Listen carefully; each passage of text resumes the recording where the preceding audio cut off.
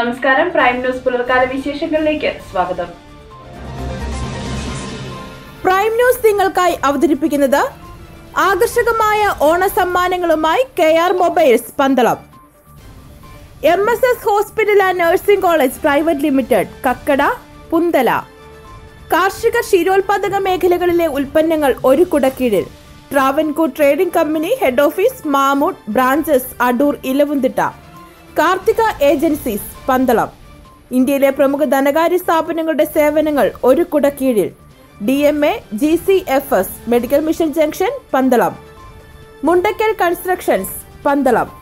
Swapna home decor furniture fest രണ്ടായിരത്തി ഇരുപത് ശിവരഞ്ജനി ഓഡിറ്റോറിയത്തിൽ ആരംഭിച്ചിരിക്കുന്നു. ക്ഷീര കർഷകന്റെ ഉറ്റമിത്രം കേരളത്തിന്റെ സ്വന്തം brand പുഷ്ടി കാലത്തീറ്റ. Aces edu world Pandalam.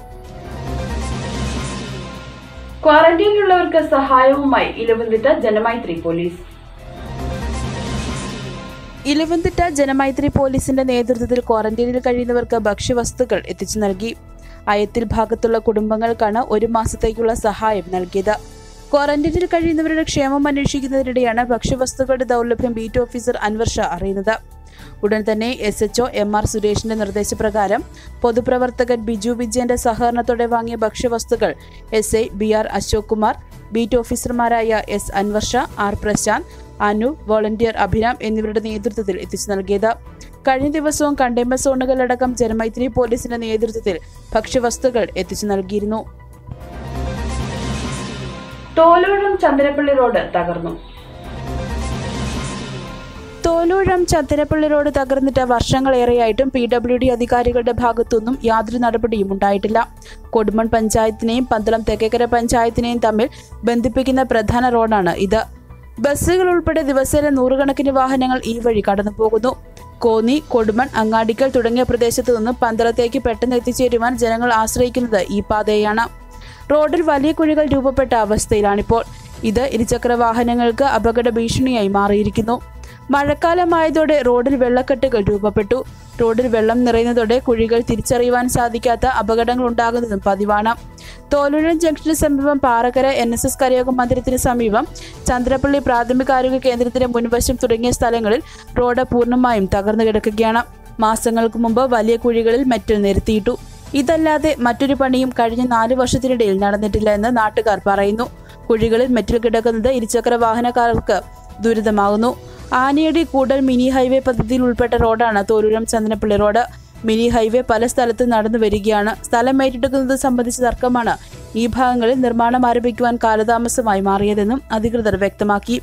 Mini ഹൈവേയുടെ നിർമ്മാണം നടക്കുമ്പോൾ അതല്ലാതെ റോഡ് ടാർ ചെയ്യാൻ സാധിക്കില്ല എന്ന് പി ഡബ്ല്യു ഡി അധികൃതർ പറയുന്നു. എന്നാൽ എത്രയും പെട്ടെന്ന് റോഡിന്റെ കുഴികൾ കുഴികളടയ്ക്കുവാൻ അധികാരികളുടെ ഭാഗത്തു നിന്നും ശ്രമം ഉണ്ടാകണമെന്ന് അല്ലെങ്കിൽ അതിശക്തമായ ജനകീയ പ്രക്ഷോഭങ്ങൾ ആരംഭിക്കുമെന്ന് നാട്ടുകാർ മുന്നറിയിപ്പ് നൽകി. ഏറെ പ്രതീക്ഷകളുമായി എത്തിയ ആനേടി കൂടൽ മിനി ഹൈവേയുടെ ഭാഗമായ ചന്ദനപ്പള്ളി തോലുരം റോഡിന്റെ ഇന്നത്തെ അവസ്ഥ ആഴയും കണ്ണിയിലാണ് തകർന്നു കിടക്കാൻ തുടങ്ങിയിട്ട് വർഷങ്ങൾ ഏറെയായിട്ടും.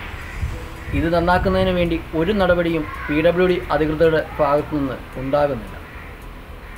മിനി ഹൈവേയുടെ ഭാഗമായതിനാൽ മറ്റൊരു നിർമ്മാണ പ്രവർത്തനവും ഇവിടെ നടത്താൻ സാധിക്കുകയില്ല എന്നാണ് അധികൃതരുടെ വാദം. എന്നാൽ യാത്ര ചെയ്യുന്ന നാട്ടുകാർക്ക് പറയാനുള്ളത് ഈ റോഡിന്റെ ദയനീയാവസ്ഥ ഒന്ന് മാറ്റിത്തരണം എന്നു മാത്രമാണ്. പ്രൈം ന്യൂസിനു വേണ്ടി തട്ടയിൽ നിന്നും ക്യാമറമാൻ ശ്രീജിത്ത് തട്ടയിലിനോടൊപ്പം അജിത് കൃഷ്ണൻ. കേരള യൂണിവേഴ്സിറ്റി പരീക്ഷയിൽ ഒന്നാം റാങ്ക് നേടിയ അനില എസ് നായർക്ക് അഭിനന്ദനവുമായി യുവമോർച്ച.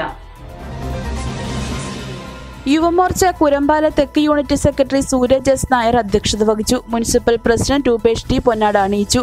യുവമോർച്ച മുനിസിപ്പൽ പ്രസിഡന്റ് രാഹുൽ കുരമ്പാല വിജയ്ക്ക് ഫലകം നൽകി. Area general secretary Pradeep Kumar S C Morcha നിയോജക മണ്ഡലം ജനറൽ സെക്രട്ടറി അനൂപ് ചന്ദ്രൻ ഗണേഷ് കുമാർ അനീഷ് കുമാർ എന്നിവർ പങ്കെടുത്തു. നെയ്ത്തുകാരൻപടി വിജയപുരം റോഡിന്റെ മൂന്നാം ഘട്ട നവീകരണ പ്രവർത്തനങ്ങൾ ആരംഭിച്ചു. പന്തളം ബ്ലോക്ക് പഞ്ചായത്ത് വിജയപുരം ഡിവിഷനിൽ നെയ്ത്തുകാരൻപടി വിജയപുരം റോഡിന്റെ മൂന്നാം ഘട്ട നിർമ്മാണ ഉദ്ഘാടനം നിർവഹിച്ചു.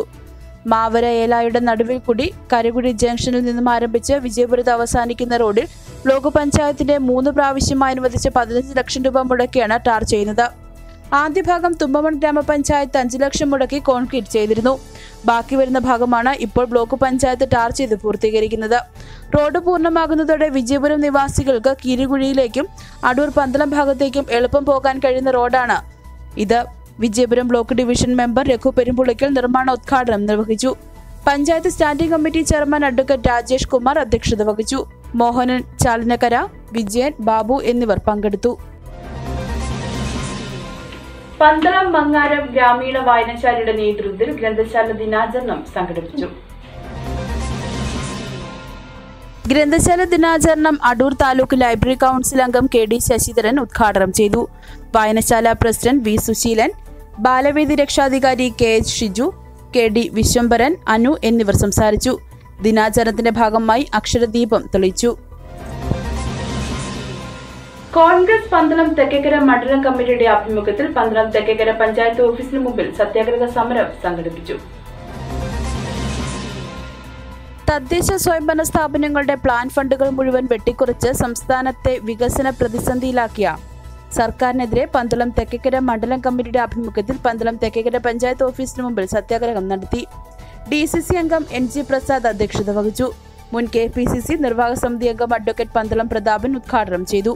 D C C general secretary advocate D N Pradeep Biju Philip Lali John Raghu Perumpulickal Jayadevi Rajendrakumar Aruvikkara Suresh Manoj Kumar Anuja Chandran തുടങ്ങിയവർ പങ്കെടുത്തു. എസ് എൻ ഡി പി യോഗത്തിന്റെയും എസ് എൻ ട്രസ്റ്റിന്റെയും ക്രമക്കേടുകൾ അന്വേഷിക്കണമെന്ന് K N Bal. S N ട്രസ്റ്റിലെയും S N D P യോഗത്തിലെയും പണാപഹാരവും അഴിമതിയും സമർത്ഥരായ പോലീസ് ഉദ്യോഗസ്ഥരെ വെച്ച് അന്വേഷിക്കണമെന്ന് എസ് എൻ ഡി പി യോഗം സമുദ്ധാരണ സമിതി സംസ്ഥാന chairman K N Bal I P S സർക്കാരിനോട് ആവശ്യപ്പെട്ടു. എസ് എൻ ഡി പി യോഗം സമുദ്ധാരണ സമിതി പത്തനംതിട്ട ജില്ലാ സമ്മേളനം ഉദ്ഘാടനം ചെയ്യുകയായിരുന്നു അദ്ദേഹം. വർക്കിംഗ് ചെയർമാൻ ഡോക്ടർ അഞ്ജയിൽ രഘു അധ്യക്ഷത വഹിച്ചു. ജനറൽ സെക്രട്ടറി അശോക് കുമാർ അൻപുലി പ്ര- മുഖ്യപ്രഭാഷണം നടത്തി.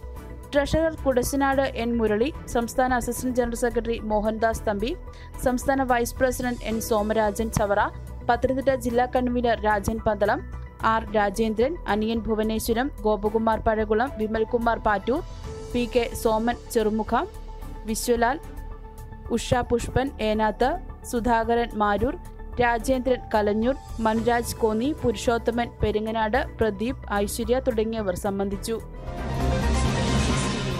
പത്തനംതിട്ട ജില്ലയിൽ ഇന്നലെ ഇരുന്നൂറ്റി മുപ്പത്തി ആറ് പേർക്ക് കോവിഡ് പോസിറ്റീവായി നൂറ്റി എൺപത്തിനാല് പേർക്ക് സമ്പർക്കത്തിലൂടെയാണ് രോഗബാധ. തൊണ്ണൂറ്റി ഒൻപത് പേർ രോഗമുക്തി നേടി. പത്തനംതിട്ട ജില്ലയിൽ ബുധനാഴ്ച ഇരുന്നൂറ്റി മുപ്പത്തി ആറ് പേർക്ക് കോവിഡ് സ്ഥിരീകരിച്ചു. തൊണ്ണൂറ്റി ഒൻപത് പേർ രോഗമുക്തി നേടി. രോഗം സ്ഥിരീകരിച്ചവരിൽ ഇരുപത്തിയഞ്ച് പേർ വിദേശ രാജ്യങ്ങളിൽ നിന്ന് വന്നവരും ഇരുപത്തിയേഴ് പേർ മറ്റ് സംസ്ഥാനങ്ങളിൽ നിന്നെത്തിയവരും നൂറ്റി എൺപത്തിനാല് പേർക്ക് സമ്പർക്കത്തിലൂടെയുമാണ് രോഗബാധ ഉണ്ടായിരിക്കുന്നത്. ജില്ലയിലാകെ അയ്യായിരത്തി ഒരുന്നൂറ്റി എൺപത്തി എട്ട് പേർക്ക് രോഗം ബാധിച്ചു. ഇതിൽ മൂവായിരത്തി നാനൂറ്റി നാൽപ്പത്തി എട്ട് പേർക്ക് സമ്പർക്കം മൂലമാണ് രോഗബാധ. ജില്ലയിൽ മൂന്ന് കോവിഡ് മരണങ്ങൾ കൂടി റിപ്പോർട്ട് ചെയ്തിട്ടുണ്ട്. അഞ്ചാം തീയതി രോഗബാധിതനായ നെടുമ്പ്രം സ്വദേശി കോഴഞ്ചേരി ജില്ലാ ആശുപത്രിയിൽ മരിച്ചു.